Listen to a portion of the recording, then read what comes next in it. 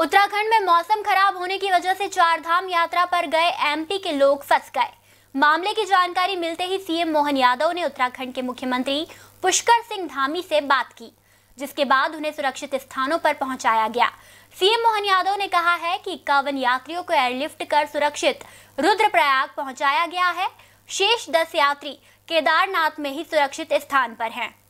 मुझे बताया गया कि आज चार धाम की यात्रा पे गए लोग, खास करके शिवपुरी ज़िले के बदरवास के रहने वाले इकसठ लोग केदारनाथ बाबा के दर्शन करने के दरमियान भूस्खलन की घटना के कारण से वहाँ फंस गए थे।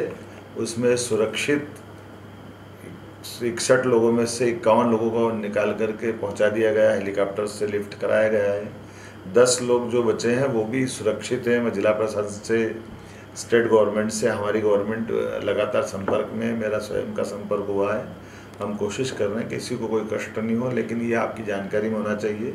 और से बाबा सबको कुशल क्षेम रखे, किसी की कोई जनहानि नहीं हुई है, ना परमात्मा किसी की होने देगा। हम सब चाहते हैं कि हमारी धार्मिक यात्रा के दरमियान आने वाली वर्षा जनित कठिनाइयों के कारण से ये घटना घटी है।